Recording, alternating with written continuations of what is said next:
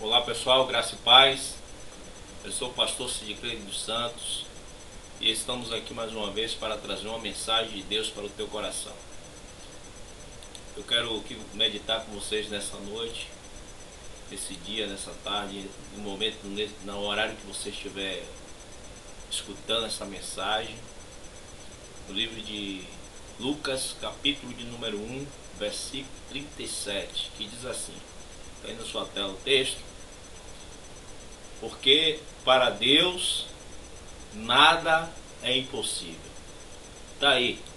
Porque para Deus nada é impossível. Quando nós lemos esse texto, nós sabemos que estamos cercados de muitas impossibilidades nas nossas vidas. Ou seja, o mundo que nós temos vivido tem sido um mundo difícil, tem sido um mundo onde tem regido pelas impossibilidades. Mas quando nós lemos esse texto que nós vimos que ele nos fala que para Deus nada é impossível, isso alegra o nosso coração. Talvez o teu coração possa até estar triste, talvez a tua vida possa até estar com muitas impossibilidades, Talvez você esteja passando por um momento de crise nesse momento, crise financeira, é, crise social, crise econômica, crise de valores. Mas eu quero te dizer que para Deus nada é impossível. Isso me lembra a história de um de um jovem que estava numa praça e ele estava com a sua Bíblia aberta e dando glória a Deus, aleluia, o tempo todo. E um homem chegou até esse jovem e perguntou: Por que você dá tanto glória a Deus e aleluia? E ele respondeu: Porque está narrando aqui na Bíblia que o mar se abriu, o mar vermelho se abriu e o povo passou em terra seca. E aquele homem olhou para aquele jovem e disse: Você está enganado.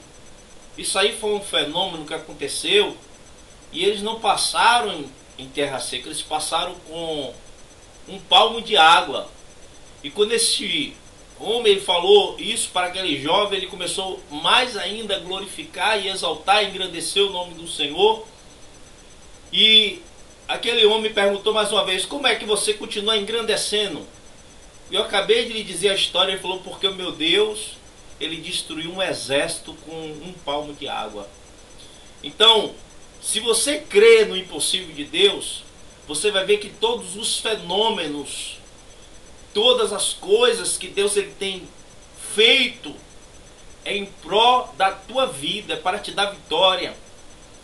Então que você, da mesma forma que esse jovem, ele glorificou a Deus independente da visão do milagre que ele viu lá no livro de Êxodo,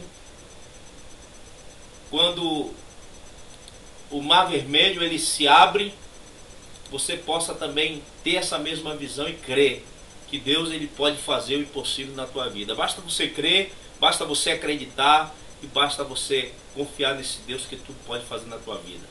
Está aí o número para orientação espiritual, tem o meu número, o número do pastor Júnior, que estamos à disposição. Quando você estiver precisando de orientação da parte de Deus, nós estamos aqui para te abençoar através de um conselho. Que Deus ele continue abençoando a tua vida e que Deus ele continue fazendo grandes coisas na tua vida. Eu quero agradecer mais uma vez a oportunidade.